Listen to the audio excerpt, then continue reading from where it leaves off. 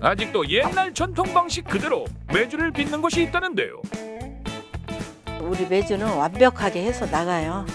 우리 균이 최고로 좋은 균이 나왔다고 자연균 지푸락에서 나오는 균으로 완주군 영진읍 매주 띄우는 고향의 냄새가 솔솔 풍기는 이곳.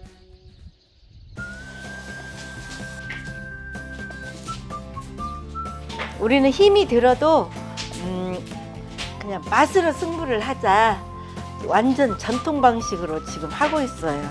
뚜껑이 열어지면 은 콩이 영양 손실도 있고 설컹거려요.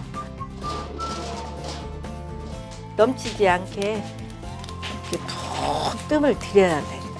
콩 씻고 앉혀서 센 불로 한시간 뜸 들이며 두시간 직접 농사지은 콩을 하루에 100kg씩 겨울에 4,000kg를 정성껏 삶는데요. 식힌 콩을 성형기에 넣으면 콩이 으깨져 압축되어 나옵니다. 납작하게 매준 모양을 빚어 건조기가 아닌 황토방으로 향하는데요. 매주는 습하고 온도가 첫째인데 습을 안 빼주면 나쁜 곰팡이, 파란 곰팡이나 검정 곰팡이가 생겨요. 바닥 온도하고 실내 온도를 정확하게 잘 맞춰주고 지푸락 깔고 시간을 정해서 제습기하고 환풍기를 이용해서 습을 빼고 있어요. 건말리기가 끝나면 옥상으로 갑니다. 27일에서 28일 네, 여기서 이제 말리고 황토방에서 한 보름 바싹 말려가지고 그리고 이제 소비자한테 이렇게 노컬 매장으로 나가고 택배로 보내고 그러니까 얼마나 바빠 맨날 바쁘지 매주의 건조를 돕기 위한 전구와 환풍기도 보입니다.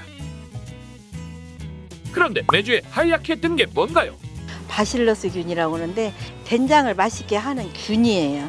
우리 매주는 완벽하게 해서 나가요. 매주고 청국장이고 그냥 우리 집은 뭐 다 천연균이야. 나뚜균이고 뭐 한국균이고 뭐 아무것도 없고 자연균 지푸락에서 나오는 균으로 먹어보면은 소비자들이 그 맛을 보고 알아요. 7, 8년 전부터 농촌진흥청에서 전라북도 그 매주들을 균 검사를 했는데요. 우리 집 균이 최고로 좋은 균이 나왔다고 매주로 활용해서 하는 것들이 첫째는 된장, 간장, 또 메주가루를 넣으니까 고추장도 있겠죠. 그리고 쌈장도 있고 발효식품은 다 좋아요. 모든 사람들이 다 좋고 장류를 사랑하는 사람들은 그런 병들이 별로 없어요.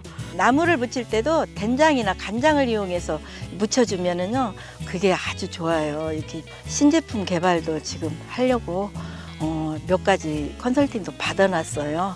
좋은 제품들이 아마 나올 거라 기대가 돼요. 저도 기대가 돼요. 재미있어요. 하는 게 너무너무 맛있다. 여기 공장에 어, 늘리지도 말고 이대로 해가지고 꼭 이대로 이 맛을 좀 내주세요 하는 사람들도 많이 있거든요. 흐뭇하고 자부심을 갖죠. 우리 집에서만이 찾을 수 있는 그 전통 장맛을 내기 위해서 최선을 다하면서 맛으로 승부를 하자 이런 뜻으로 제가 조금 힘들더라도 전통 방집을 어, 고집을 해서 어, 열심히 하려고 지금도 생각하고 있어요. 산들농원 행복만인 매주 많이 사랑해 주세요.